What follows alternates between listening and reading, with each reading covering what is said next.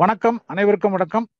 நான் ரபு மனோகர் வழக்கறிஞர் சென்னை உயர்நீதிமன்றம் சேவா பாரதியின் மாநில தலைவர் உத்தர் தமிழ்நாடு.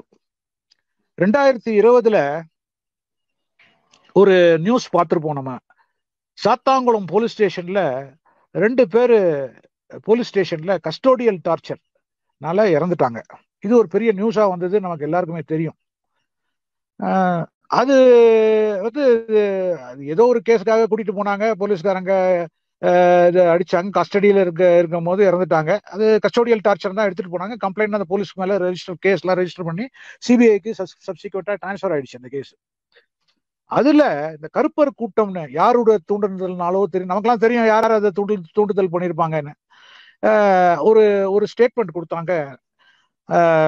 இந்த ரெண்டு பேர் இறந்தவர்கள் சத்தாங்குளத்தை சேர்ந்த கிறிஸ்தவர்கள். அவர்கள் வழிபாட்டில் கிறிஸ்தவர்கள்.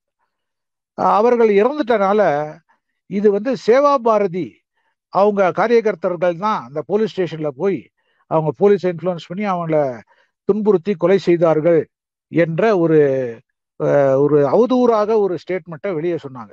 ஒரு தடவை இல்லை பல தடவை சோசியல் மீடியாவில் பிரஸ்ல எல்லாத்துலேயும் வந்து இது எல்லாரும் பார்த்தோம். அவங்க என்ன என்னன்னா சேவா பாரதி எல்லா காரிய மலைக்கு மலையோ சரி பேரிடர் எந்த நேஷ கலாமிட்டி வெள்ளம் சுனாமி எல்லாத்துலயும் நல்லா வேலை செய்து மக்களிடையே ஒரு நல்ல நேம் இருக்கு. ஒரு நல்ல கல்ச்சுரல் சோசியல் ஆர்கனைசேஷன்ற ஒரு ஒரு நேம் இருக்கு. அதை பார்த்து சேவா பாரதியுடைய அமைப்பு வந்து ராஷ்டிரிய சுயம் சேவக் சங் ஆர்எஸ்எஸ் ஒரு சர்வீஸ் ஆர்கனைசேஷன் ஸோ அதனால இதை மக்கள் மத்தியில சங்க கோட்பாட்டுகளை பரப்பும் அதாவது நம்ம நல்ல வேலையின் மூலம் சிவாபாரதியை எப்படியாவது அவங்க பேரை கெடுக்கணும்னு இந்த மாதிரி ஒரு தூண்டுதல் பேரில் இந்த ஸ்டேட்மெண்ட் கொடுக்கப்பட்டதாகவே நாங்கள் கருதுகின்றோம். இந்த மாதிரி எல்லாத்துலயும் ஸோ இணையதளங்கள்ல எல்லாத்துலயுமே இந்த மாதிரி சிவாபாரதி ஆளுங்க தான் வந்து போய் அந்த ரெண்டு கிறிஸ்தவர்கள் என்ற என்ற காரணத்தினால் அவர்களை கொலை செய்ய போலீஸ் ஸ்டேஷனில் இவர்கள் தான் தூண்டினார்கள் இவர்களும் உடன் உடன் இருந்தார்கள்னு ஒரு அலிகேஷன் இது நம்ம முதல்ல இருந்தே பார்த்திருக்கோம் நம்ம. ஆயிரத்தி தொள்ளாயிரத்தி நாற்பத்தி ஏழுல இருந்து இந்த மாதிரி ஒரு நிறைய அலிகேஷன் சங்கமா ஃபேஸ் பண்ணிட்டு இருக்கு ஃபார் எக்ஸாம்பிள் மகாத்மா காந்தி கொலை. சொல்ல அது சங்கதம் சங்கம் தான் பின்னணியில இருந்து கொலை பண்ணாங்கன்னு. அது பழைய ரிப்போர்ட்டு கோர்ட்லயே அது வெளியே வந்துருச்சு. அதெல்லாம் தப்புன்னு. பல தடவை கேஸும் போட்டிருக்காங்க. கோர்ட்ல வந்து கு- மன்னிப்பு கேட்பாங்க வந்து. இந்த மாதிரி தப்பா சொல்லிட்டோன்னு. அதே மாதிரிதான் இது ஒரு அட்டம்ப்ட் இது ஒரு முயற்சி. இந்த மாதிரி சேவா பாரதியும் சங்கத்தையும் இந்த மாதிரி அவங்க தப்பான முறையில பப்ளிக்ல சொல்றது.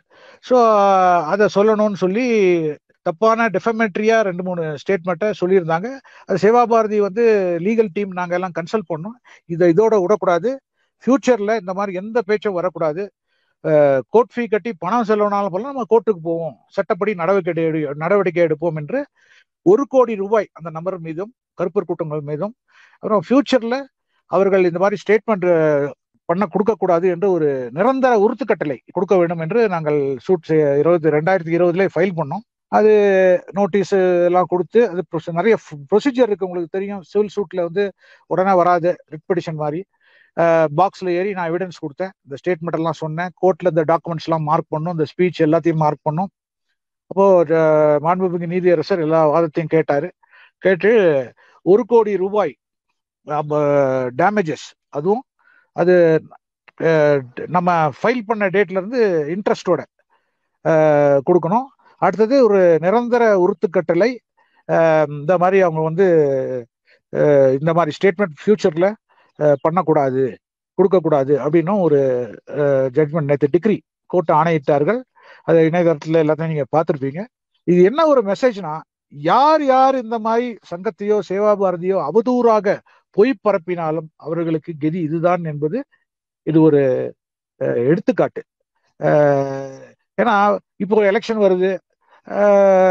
இது நம்மளுடைய இந்த- இந்த மாதிரி ஸ்டேட்மெண்ட் இங்க மட்டும் இல்லை பாரத தேசத்தை வந்து இழிவுபடுத்தணும் பாரத தேசத்துக்கு யாரும் நல்லது செய்திடக்கூடாது அப்படின்ற கெட்ட எண்ணத்தோட ஒரு பெரிய கூட்டமே இருக்கு. இங்க மட்டும் இல்ல வெளிநாட்டுல இருந்தும் அது வரதா அஹ், நாங்க யோசிக்கிறோம்.